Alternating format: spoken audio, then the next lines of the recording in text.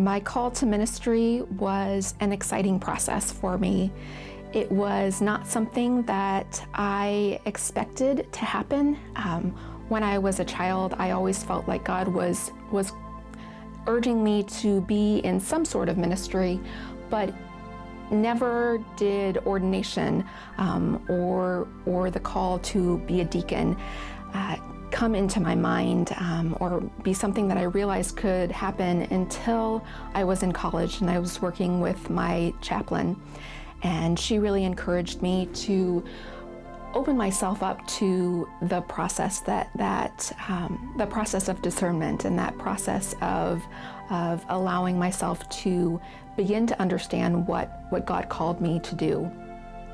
And that was a uh, a time where uh, that change in my life. Um, it was a time where I felt felt um, pushed and felt excited and felt like God was going to do great things with me.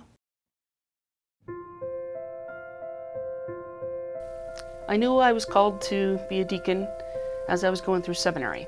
Um, I hadn't realized when going into seminary that uh, deacons and elders orders had separated and got really interested in what a deacon is and does. I had friends who wanted to be deacons.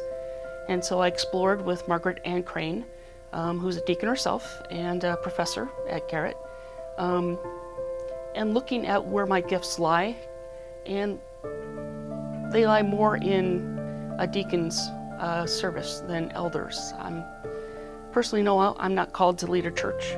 Um, I'm more than happy to support people who are, but I'm called to be a hospital chaplain and to be able to bring calmness and Christ into situations that uh, really need that, that presence.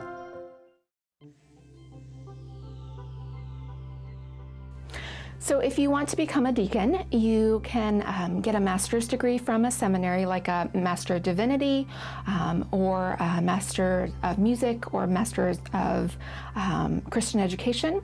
Um, or you can also um, go a route where you would get a master's um, in a specialized area of ministry, such as a Master of Social Work or, or something of that nature, and then also do a program that allows you to complete the basic theological or graduate theological studies that um, are required to be a deacon through a United Methodist seminary.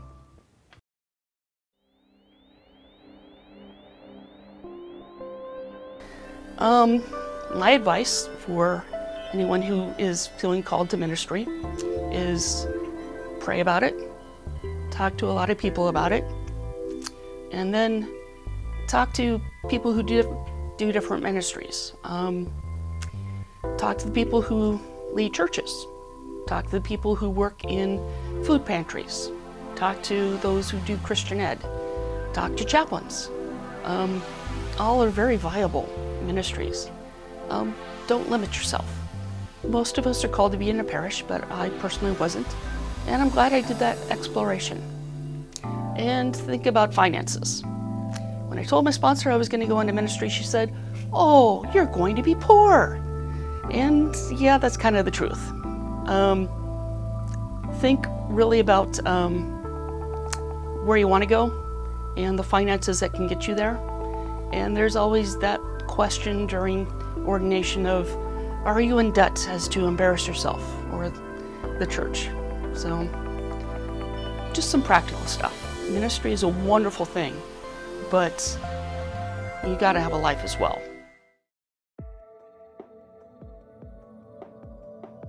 Deacons serve in a variety of different settings. Um, some serve in a local church, and others serve beyond the local church in, in a variety of different roles, from counselor and, and therapist to um, an administrator at a social service agency or um, an educator in a school setting.